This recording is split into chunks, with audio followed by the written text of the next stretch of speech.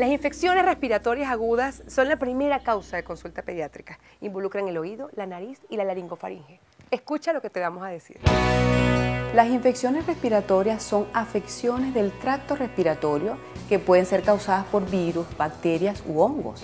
Las infecciones pueden ser infecciones altas, lo que compromete la vía aérea superior, o infecciones bajas, vía aérea inferior. El origen de la infección respiratoria generalmente eh, depende de gérmenes. Los virus son los que, digamos, causales de la mayoría de las infecciones respiratorias. Las infecciones respiratorias se ven con frecuencia en las edades extremas. Los niños en especial, porque bueno, tienen un sistema inmunológico prestado de su madre hasta que comienzan a desarrollarlo a partir de los dos años. Y los adultos, las personas mayores, precisamente por esa condición ya de deterioro de sus funciones, son más proclives a sufrir estos procesos infecciosos.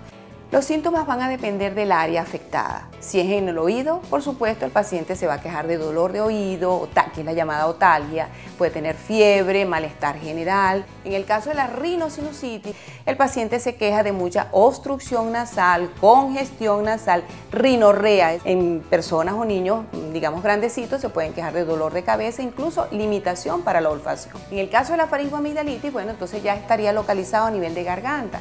El paciente se queja de dolor para tragar, limitación para la alimentación precisamente por ese dolor. En los procesos bacterianos ya hay mayor compromiso porque allá es un germen mucho más agresivo, entonces esto hay que eliminarlo. Para eso necesitas antibiótico-terapia. La prevención, por supuesto, en los niños la vacunación. Hay hoy en día vacunas para prevenir justo ciertos procesos, ciertos gérmenes que afectan nuestras vías respiratorias. En el caso de los adultos, evitar exponerse. Igualmente hay muchos adultos que somos alérgicos y lógicamente los alérgicos están mucho más propensos. Entonces, evitar la exposición a esos cambios bruscos de temperatura, el cigarrillo. Mi recomendación final es que cuando exista un proceso infeccioso que se prolongue más de 72 horas, y sobre todo que observe la persona que se siente peor, debe acudir inmediatamente al especialista porque hay que investigar qué está pasando para tomar las medidas adecuadas para el caso. Si respiras humo, ya sea porque eres fumador o fumador pasivo, puedes complicar una infección respiratoria o sencillamente mantenerla en el tiempo.